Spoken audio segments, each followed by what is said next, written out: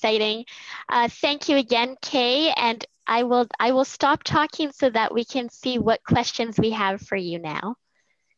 It looks like Alan has his hand up. Oh. Alan.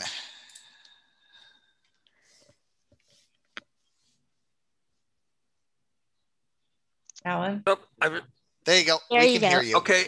Um, well, um, my wife and I have made what I would aptly described, I think, as the pilgrimage to Louis Braille's birth home. Mhm. Um, Monsieur Marie was absolutely wonderful when we went. We spent a great deal of time. Uh, he spent a great deal of time with us, asking us about how we use Braille. Um, I couldn't have I couldn't have carried out my profession without it. I was a translator for three years before I became a conference interpreter. And I could never have done this without Braille. And it also helped me when I decided I wanted to learn Spanish later on. So I can write Braille in three languages now. So um, I'm I loved your presentation. I'd like to know why AR is your favorite contraction. oh, I have a lot of reasons. The the uh, the real one, since we're telling real things now, uh, is that my first Braille class that I took, uh, they were having trouble with AR, and so just I just said, "Well, how can you have trouble with that? It's my favorite contraction," and it made them all learn AR uh, because they thought, "Why is AR?" So we analyzed it, and and it just it was just frankly kind of a lark. I do love AR, but uh, it's kind of I've, I've used it with uh, children, and they all have a favorite contraction. Looks like Kim Kirk, Kilpatrick. Kim? Do you mind if I call out the names of people? I- Absolutely. No, that's fine No, if you can see the list. absolutely. I'm on mute. Am I on mute? No, Yeah, you're, here. good. Okay, good. Um, my question is, and, and I was horrified to know about the Brailler on the high shelf. really, really sad. Um, and I'm I too, like Alan, I'm a lifelong Braille reader. Couldn't live without Braille.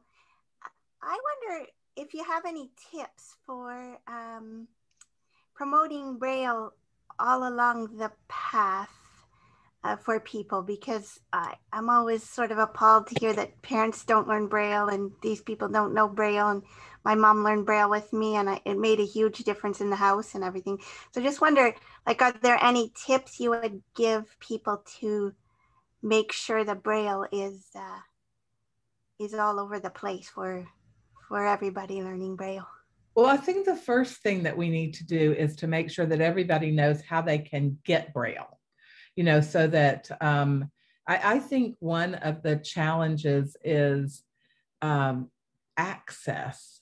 And so if we uh, if we make sure that parents have access to Braille children's books that they read read to the child, and um, so I think that's really great. And even things like um,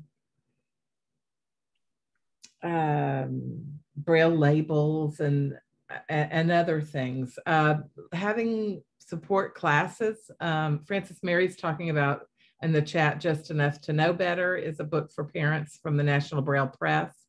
Um, so having access and not feeling like you have to do it all by yourself, um, setting up this community braille course is um, is going to be really valuable for that so I, I i think we also have to embrace that as as a job for us um, i love talking about braille in fact i think sometimes people get a little tired of uh, yes kay we know you're always going to say something about braille when this comes up but uh, this is general in the general public, but um, yeah, it's a good question and something that we should maybe have a little task force about, Natalie.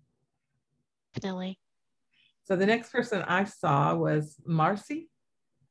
Yeah, it's Maurice uh, Kay. Maurice. Um, Great. I just, um, I was actually surprised that you mentioned that um, pre Braille was kind of, I'll say obsolete. Maybe that's not the right word, but, um, but it, you know, I thought about it. It, it actually makes sense. Do we, do we show our sighted children how to pre-write? Yeah. Not necessarily, No. right?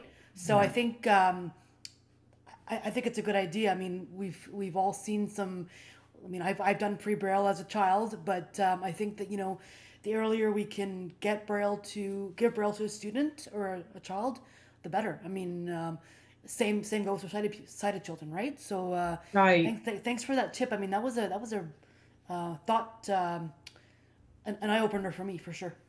Well, thank you. And you know, we're we're among friends here. And so it's kind of one of those things we just talk about. What does that mean, really? I mean, what are, what message are we um, are we giving? One of the messages is you kind of have to pass through pre-braille before you get to braille.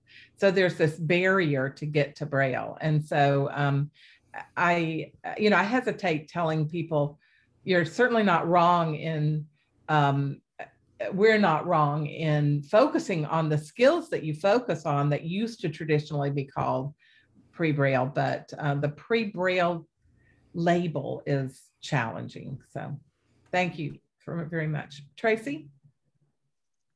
That was good, yeah. Um, what do you mean by pre-braille? I've been blind, well, since the age of two, and I learned braille in grade one. Um, I knew my print letters first, but what do you mean by pre-braille? I've never heard of that. Yeah, usually people are talk talk about pre-braille when they're talking about things like tactile exploration, tactile demonst- uh, discrimination, um, tactile uh, like tracking maybe. So you're not actually looking at braille cells, you're just looking at, you know, a line of braille. Um, and so it's the it's it's kind of fragmented skills that then allow the child to explore the braille cell when we decide to give it to them which should be a lot earlier than than if you yeah. see i don't i don't like that. To me that's not pre-braille.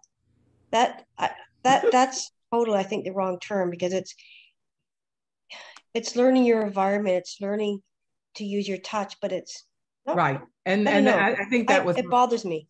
Yeah well same here. I mean that was my point. We don't we don't uh, pre-braille i don't i i I actually but, can't imagine some, something that is pre-braille. So, but, okay, thank you. Go ahead. Diana? Uh, yeah. Uh, hello. Hi. Um, I just got asked, or I, am volunteering to work with a child who is um, in grade five and taken Braille since kindergarten. And she hates Braille and isn't reading at her grade level, which is totally not unsurprising to me.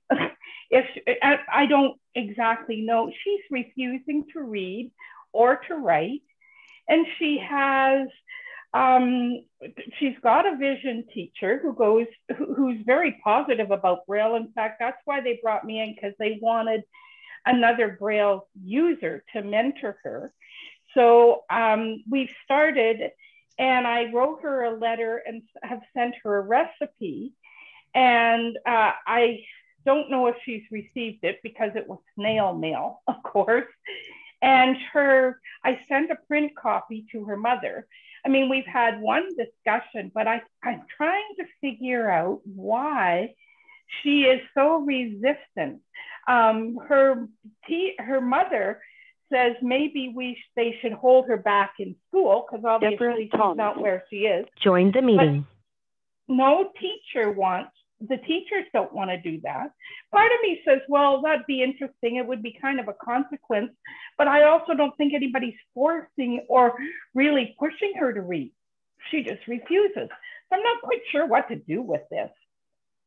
I know we're running out of time, Diana, and this is a huge question. Um, but my um, uh, Alan Koenig, who coined the blame the child syndrome, uh, also used to say attitudes are not developed in a in a vacuum.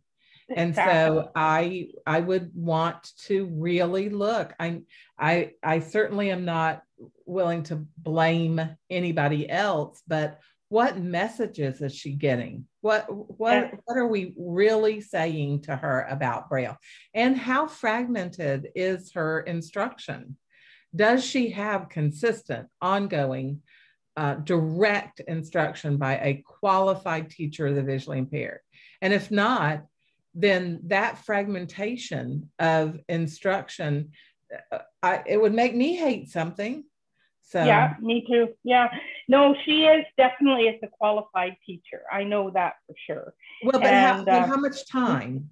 Like, I, I haven't asked the teacher, so that's a good question. I can do that. The other thing I've done is started talking to the mom over email and um, you know trying to get her engaged in in this whole process because i know she doesn't know braille and like kim my mother learned braille and i was the only one at school who got braille letters that i could that read and that they didn't have and i could send them and they didn't have to be interlined. And that made me proud because my mom could read. Okay, thanks very much. I do want to, I know it's, I know it's at time for us to take a break, but I do want to respond to something that was in the comment um, about using the term tactile awareness instead of pre-braille.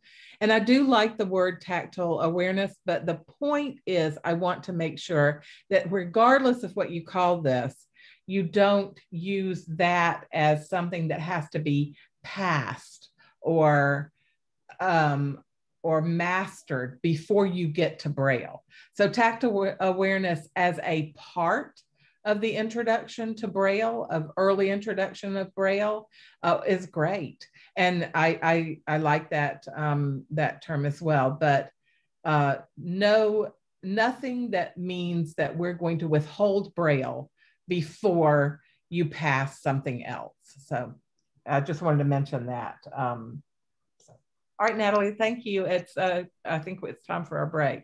Thank you so much, Kay. And if I may, I would like to ask just a final quick question. Um, because we have so many people here today, we've talked, several people have already talked about the role of parents.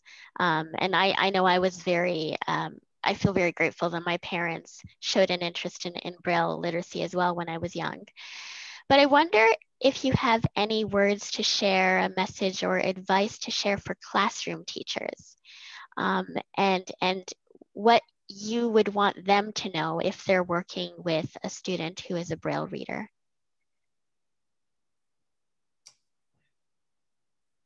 You know, that's a huge uh, question, Natalie.